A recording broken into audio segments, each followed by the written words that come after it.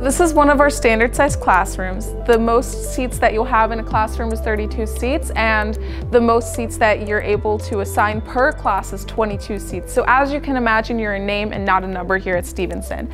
You, your average class size is 17 and your student to teacher ratio is 16 to 1. Um, personally, professors, in my experience, have been very caring and they notice when you're in class and when you're not. They also notice when your grades are going down or whether you're doing better. They're always there to help you and the smaller class sizes assist with that.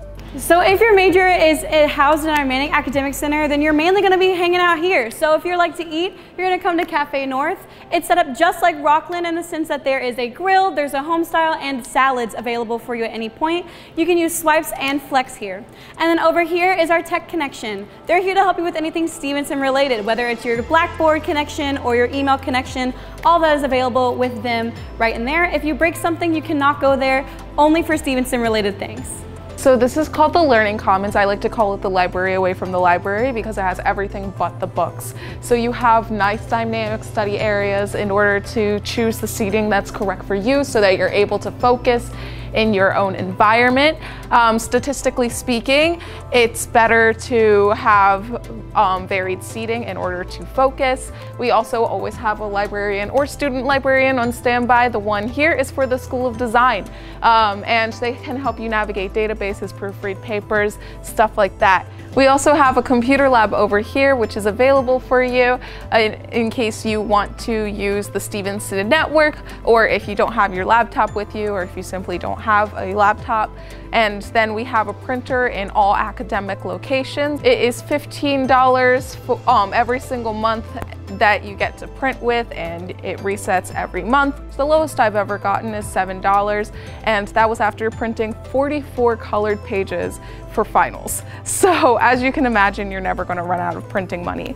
In the back, we also have study rooms that you can rent out for up to four hours each.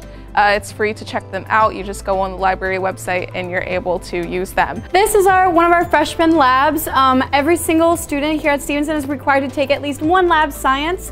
Um, every single lab has its own class. Every single class is separated into different labs, so then each lab is equipped with everything needed for that class. So you'll be in here, all your lab coats and things can be gotten from the campus store as well as your lab manuals and lab notebooks, all available at our campus store at the beginning of each semester. So just for nursing majors here, we have one of our nursing simulations lab. This one specifically is one of our nursing skills labs.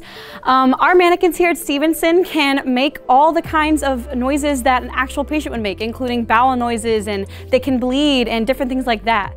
So that's something that you experience here is you get these hands-on. Right now, as you see, they've been working with infants. So um, there's different kinds of mannequins. Some of them them are children, infants, and some even give birth, like our mannequin Victoria, who will you will actually go through a birth with her and she even hemorrhages and starts bleeding during birth. So you'll get that hands-on experience as you're going closer and closer to your clinical skills where you'll be placed in a local hospital and you get to have that hands-on experience with actual patients. So this is home to our fashion design department. This entire hallway is filled with all the resources that you need in order to succeed with your classes um, having to do with fashion design. Right over here we have our textiles lab and that has donated fabrics from English American that um, students are able to access for free in all of their classes. Um, we have two functional sewing labs with industry standard equipment. Um, everything that you need is to prepare for the industry. We take tailoring, um, sewing, draping, and um, we start from the bottom. So we have a sewing 101 class and you work your way up.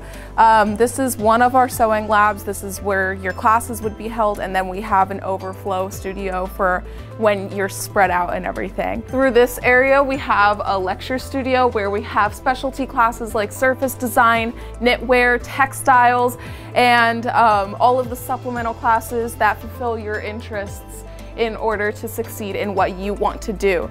And a very exciting classroom that we have over here is the computer aided pattern design lab fitted with um, an industry standard printer. We use Gerber software, which is something that you use in the industry.